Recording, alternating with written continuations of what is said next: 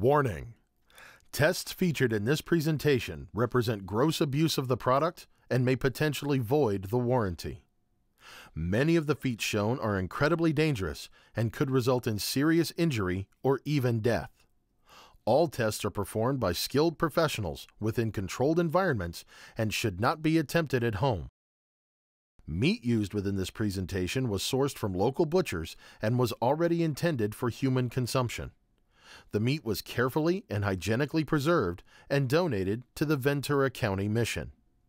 This presentation may be deemed too graphic for some individuals, and viewer discretion is advised.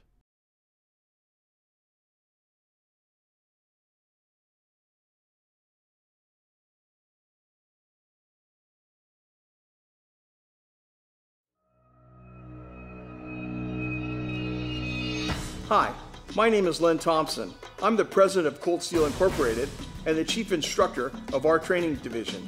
I would like to welcome you to our presentation, Apocalypse Proof. We want to prove to you again why you should spend your hard earned money on our products. When the chips are down, when the balloon goes up, when your life is on the line, you can depend on Cold Steel products. This end of the world theme has been a lot of fun to work with. We don't take ourselves too seriously, and we have enjoyed taking the time to come up with all these graphic feats and demonstrations. I hope that you have as much fun watching it as we did making this. And remember, don't try this at home. By now, many Cold Steel fans will be familiar with some of the tests and feats performed in our infamous Proof series. Most are self explanatory, but other feats may be new to you so we thought we would give you a brief explanation of some of our tests and their significance. We use incredibly tough and abrasive manila rope for many of our cutting tests. It not only demonstrates the superior strength and sharpness of our products, but it places a great deal of shock on the locking mechanism of a folding knife. In our experience, the vast majority of factory-made knives are unable to sever even a single one inch strand of free hanging manila rope.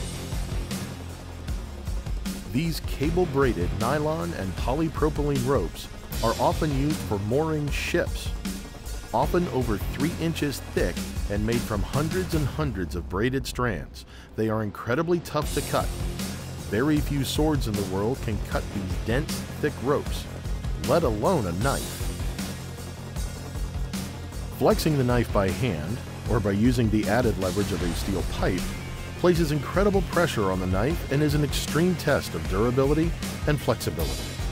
Subjecting a folding knife to this test is even more radical, as it places a huge amount of stress on the moving parts within the locking mechanism.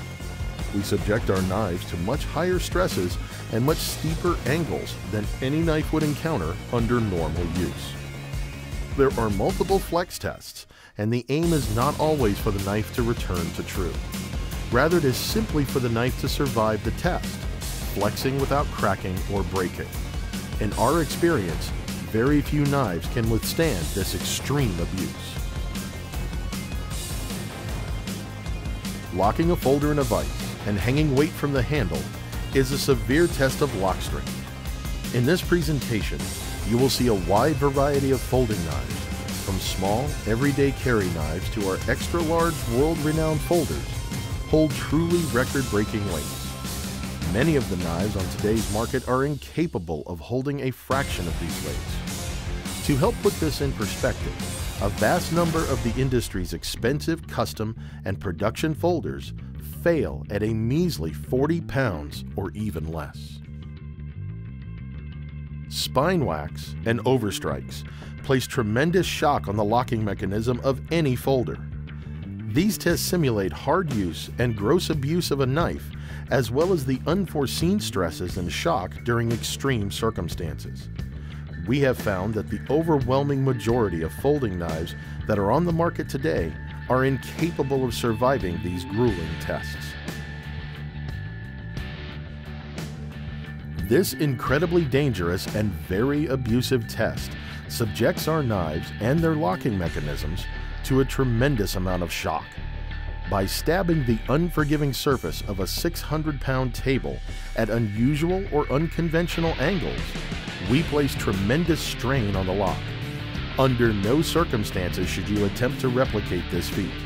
the vast majority of knives on the market today will fail this test. We use these spiral wound, heavy duty mailing tubes for everyday cutting and penetration tests at our facility in California. These incredibly tough tubes are over 4 inches in diameter and have a crush weight of over 200 pounds. Made from compressed cardboard and glue, they are not only very difficult to cut, but they wreak havoc on the edge of all but the very best swords and knives. We have seen several expensive handmade swords break while attempting to cut through these deceptively tough targets.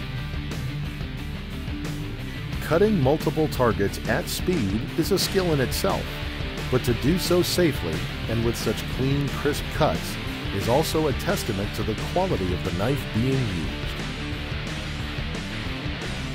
Chopping, carving, and splitting wood is a surprisingly tough test for many knives. As blades become more specialized, their design and edge geometry may not be suited for these tasks. These cutting feats represent hard use of a knife in a true emergency situation. Tatami have been used as the traditional cutting target in Japan for centuries.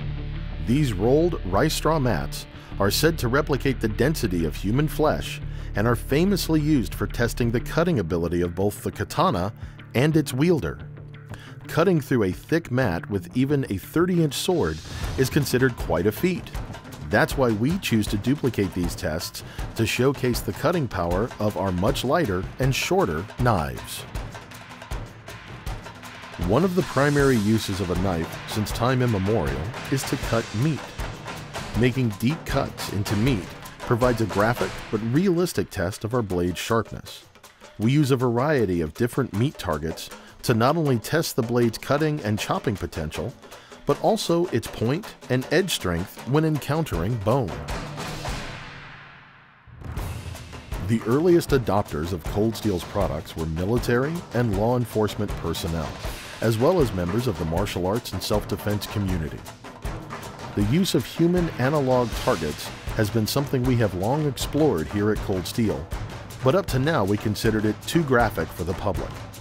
However, due to popular demand by our fans, having seen similar targets used widely on TV shows over the last few years, we have included some of these tests here. This testing may be considered particularly graphic, and viewer discretion is advised.